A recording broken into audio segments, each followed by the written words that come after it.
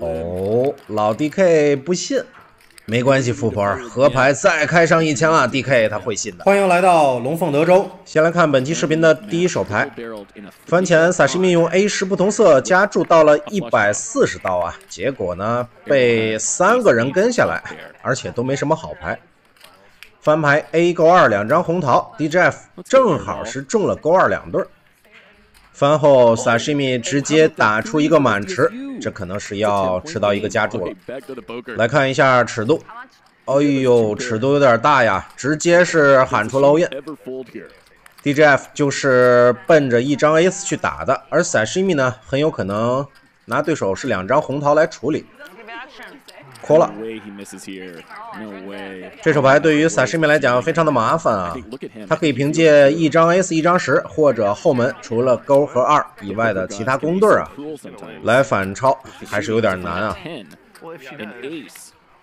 转牌红桃五，第三张红桃，但是很可惜啊，萨士米一张红色的牌没有，最终合牌一张草花八。那么恭喜 DJF，过二两对从萨士米身上拿到了 double。继续来看这手牌，萨什米拿到了二七，看看他怎么来打自己的二七啊！掐住到了七百二十刀啊，七二就加注到七百二吗？这是想给其他对手一个心理暗示啊！这不等于变相的透露牌力了吗？DK 五九方块跟住，NetKill 一对五跟住，Sandra 一对八跟住。二七碰上三个对手，不过好在没什么大牌，萨什米还是有机会。What？！我还想说看看萨什米怎么操作，那这不用操作了呀，翻牌面直接拿到二七两对这别人真的是没法打下去了。好家伙！直接推出欧印，一万四千刀。你们要是不相信我有二七啊，就跟跟看啊。梦幻开局，没什么好说的，只是我想不通啊，为什么番茄要下注七百二十刀呢？这不是就怕别人忘记会有二七的存在吗？来看这一手牌，哇，人有点多呀。这手牌中国富婆啊，在枪口加二位做了一个 straddle，最后说话，反手拿 A 勾加注到了一千两百刀。我让你们跟注啊，让你们便宜看牌。想拎不入池啊，门也没有。加注到一千二之后，哇哦，DK 的二八不同色选择了跟注，所有好一点的牌啊全走了，留下了一个最差的。当然啊，最差的也不是说啊就没机会。翻牌圈 K 九三张黑桃，而 DK 呢手里拿着最小的黑桃啊。这手牌有点意思，虽然富婆手里没有黑桃，但是 DK 可不知道啊。咱们就来告诉告诉 DK 自己手里的黑桃有多大。三千二的坡只打三百，是不是拿错筹码了？DK 问林吉：“你是不是也在等一张黑桃呢？”DK 反手跟住，这是在暗示对手啊自己有黑桃。而转牌呢，一张黑桃掉出来。你还别说，DK 竟然是领先了。但是这手牌如果河牌再掉黑桃啊，那又是另一个局面。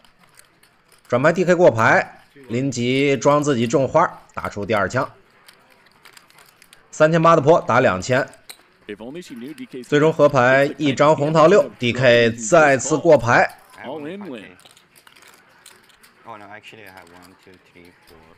能连续跟住两条街，一直跟到 River。我觉得林吉啊很清楚 DK 手里是有黑桃的，但他还是抱希望啊。DK 手里的黑桃啊比较小，那自己就有很大的概率可以凭借一手欧印打掉对手。而 DK 也确实啊手里捏着最小的黑桃，这个牌面跟住，我认为是没戏啊。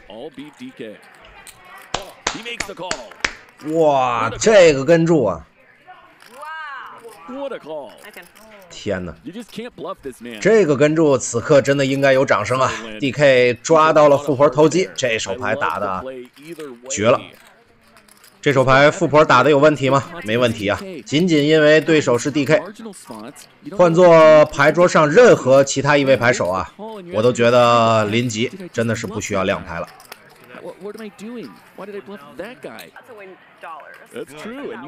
咱们接着来往下看，DJFK 勾草花加注到了两百，Jessica A 五不同色，位置比较好啊，选择跟注，DK 圈九草花跟注，富婆一手圈八不同色啊，还是跟了下来。翻牌三五八，又是一个冤家面，DK 拿到圈花听牌，DJF 拿到 K 花听牌，富婆呢命中顶对，DJF 后卫打五百。有中牌的 Jessica 似乎打算要跟下来继续看转牌，但我说句实在话，Jessica 打的真是又紧又弱啊！就算他看到转牌，我觉得他也赢不了。尤其追转牌的三张 Ace，有一张草花 Ace 啊，对自己还没有帮助啊，负提升。Jessica 跟注，DK 呢也选择跟注，而林看到了一个下注，两个跟注之后，反手是加注到了三千。怎么着，各位拿着顺子听牌、同花听牌，想跟我这儿便宜看转牌是吧？门也没有。而我就说吧，Jessica 这五百刀肯定是白花了，他是绝对看不到转牌了。DJF 这边应该会跟住啊，DJF 跟下来呢，DK 也肯定会去 call 的。面对两个跟住的话，富婆的一对八估计有点难打了。而这手牌其实最大的战争啊，在于后面掉同花，被富婆挑起来的战争呢，很有可能以 DK 啊被血洗啊为结果。跟住转牌，红的还是一张 A 四啊，很大。这样的话，富婆应该不会再打了。Check check，DJF 呢？还是讨厌这张 A 四啊！所有人都过合牌，黑的，一张红色的五。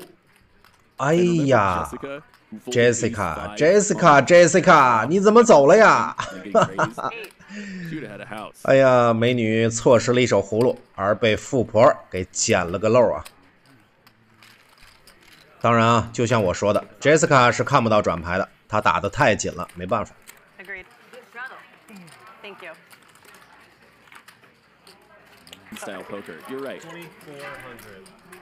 来看这一手牌，DK 一对勾，庄位加注到六百，富婆 A 圈三败到了两千四。刚才被 DK 抓到偷鸡啊，这手牌肯定富婆是想要报仇。两人单挑，来看翻牌，A 六六 ABB 面临级拿到顶对，而老 DK 被盖了帽子，这手牌肯定要被动了。富婆翻后打一枪，五千的坡应该是个三分之一左右的下注啊。一千六恰好三分之一，这种下注对手基本不用做考虑啊，有牌没牌都会这么打。DK 是肯定要跟的，对对手的判断啊，最主要是来源于转牌和合牌的两强。DK 反手跟注，来看转牌。一张草花四，对于牌面没有任何的影响啊！一张空气牌，富婆这边先手过牌，没中牌的、中 Ace 的都有可能会这么打，而拿到两张红桃的呢，一般来说转牌啊会开出第二枪。那么你过，我就没必要再下注了啊。DK 肯定也是要过牌的，你没法确定对手是否有 Ace，如果你下注吃到一个反推，那就很难打了。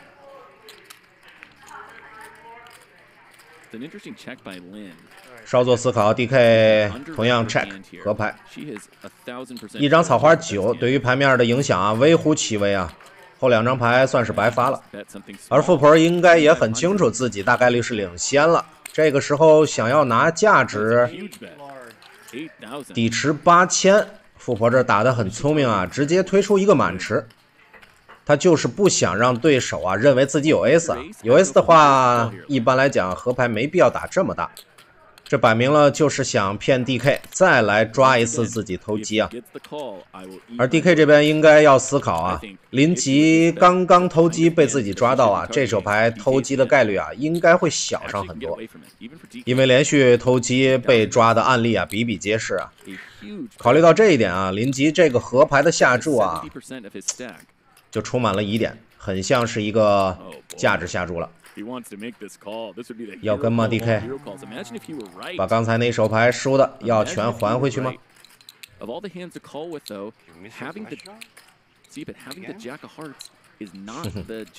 问 林吉，你是再次 miss 了这个牌面吗？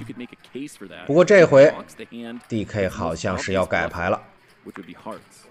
可惜啊，林吉就差一点点啊，就骗到了老 DK 手里那八千。好那么这一期视频呢就到这里咱们下期再见。